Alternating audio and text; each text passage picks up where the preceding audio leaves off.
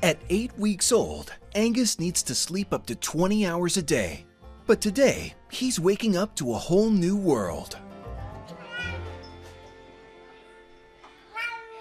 So, so far, Aonghus has only met things around the house. He's met the cats and things like that. But today, I have a lot of ranch chores to do. So, it's the perfect day to bring Aonghus outside. Come on. The Soltz family live on a small farm, and Adrian knows that Aonghus has a lot to look out for. There's a lot going on on a little ranch. We have a lot of visitors and a lot of activities on a daily basis. I want to make sure that Aonghus gets to know everything and he's comfortable.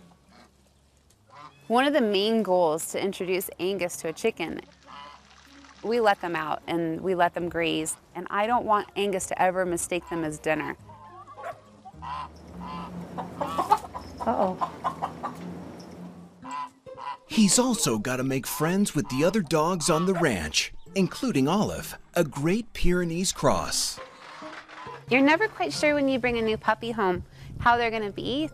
Olive is such a big dog that I'm more worried about how Olive behaves around Aonghus than Aonghus behaves around Olive.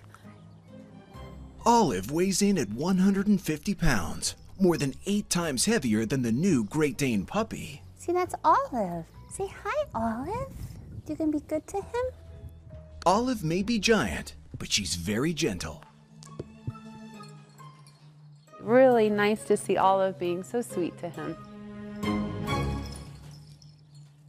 Aonghus will soon outgrow Olive. Even at 18 weeks, he'll be almost two and a half feet tall and weigh up to 80 pounds.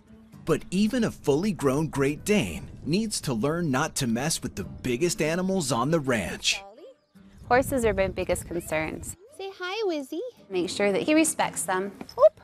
He stays out of their way and out from underneath their feet so he doesn't get hurt. He's definitely curious about the horses, and the horses don't like him.